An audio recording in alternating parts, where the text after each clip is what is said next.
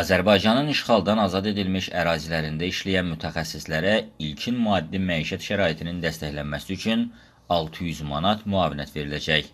Qafqaz Info xəbər verir ki, bu, Prezident İlham Əliyevin sosial müavinətlər haqqında qanuna dəyişikliyi təsdiqləməsi ilə mümkün olub.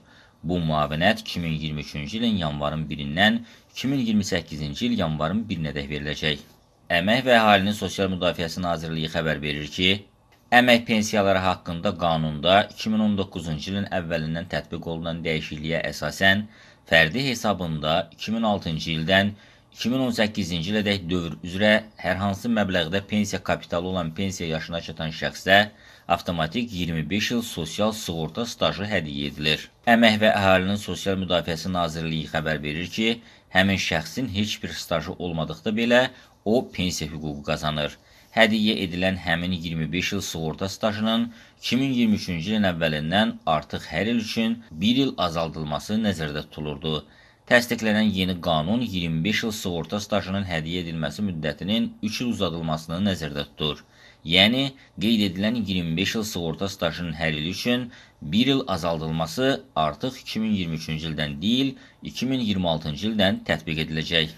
Naxçıvan Muxtar Respublikasında yeni Daxili İşlər Naziri təyin olunub.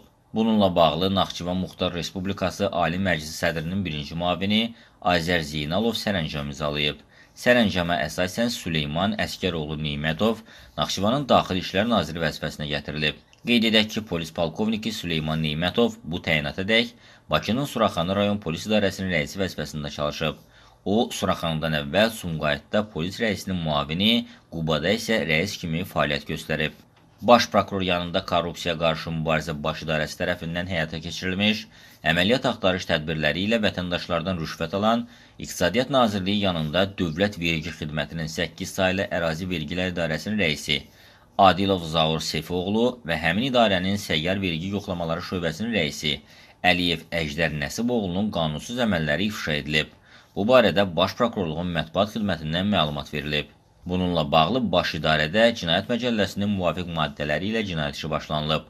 Toplanılmış ilkin sübutlar əsasında adı çəkilən vəzifəli şəxslər həmin məcəllənin 308.2, 311.3.1, 311.3.3-cü maddələri ilə təqsirləndirilən şəxs qismində cəlb edilməklə barələrində məhkəmənin qərarına əsasən həbs qəti imkan tədbiri seçilib.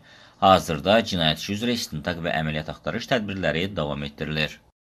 Azərbaycan Tibb Universitetində çalışan professor, müəllim, tədris köməkçi, mühəndis texniki heyətin və inzibati təsərrüfat işçilərinin vəzifə maaşları 2023-cü il yanvarın 1-dən orta hesabla 20%, onlara verilən əlavə əmək haqqı isə 10% artırılacaq.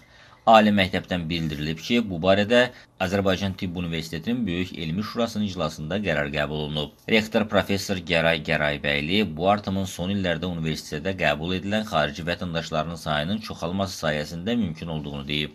Naxçıvan Muxtar Respublikası Ali Məclisinin keçmiş sədri Vasif Talıbov istefa verdikdən sonra nəzarətində olan şirkətlərin çöküşü başlayıb.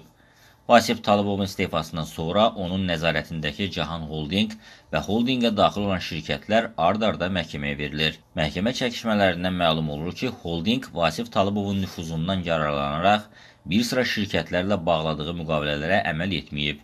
İndi Vasif Talıbov əvvəlki gücdə və nüfuzda olmadığı üçün həmin şirkətlər hərəkətə keçib. Vasif Talıbova məxsus olduğu bildirilən başqa bir şirkətdə də eyni vəziyyətdir. Söhbət Gəmiqaya Holdingdən gedir. Holding 2008-ci ildə təsis edilib və tərkibində 14 şirkət var. Gəmiqaya Holding Vasif Talıbovun biznes imperiyasına daxil olan ən iri strukturlardan biridir. Hazırda şirkətin işləri yaxşı getmir. Bu səbəbdən holdingin vergi borcu yaranıb. Gəmiqaya Holdingin dövlətə 15 minə yaxın vergi borcu var. Ehtimal olunur ki, şirkət yaxın günlərdə borca görə məhkəməyə veriləcək.